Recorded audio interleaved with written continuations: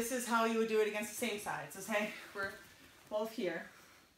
Now it'd be a little different. I'd have to do something to bend him over. A lot of times I'll do something like step to the left or something like that to get him to bend over. But let's just say, for the sake of argument, that he's bent over already. Now, this group, I'm gonna have my elbow almost over his head here, like on the back of his neck, so he can't stand up. So if he tries to stand, it's try to stand up. It's my weight over his neck, holding him, not my strength, my weight. And I grab here.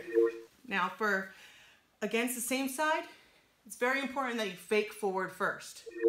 If you don't fake forward, they're just gonna sprawl out on you and you're gonna look stupid and be on the bottom. So don't do that. You need to get him to react. If I'm gonna pretend to throw forward, he's going to stick his hips in to block me, right? That's how he would stop me.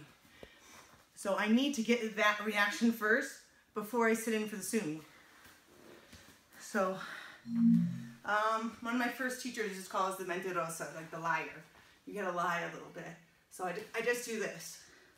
I'm just gonna turn my hip. Instead of bringing this back foot in and really committing to a forward throw, I'm turning my hip and my shoulders to make him think it.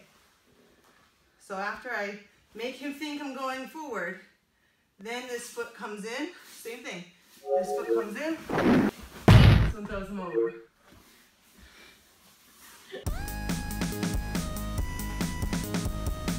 So Sam's a really strong guy.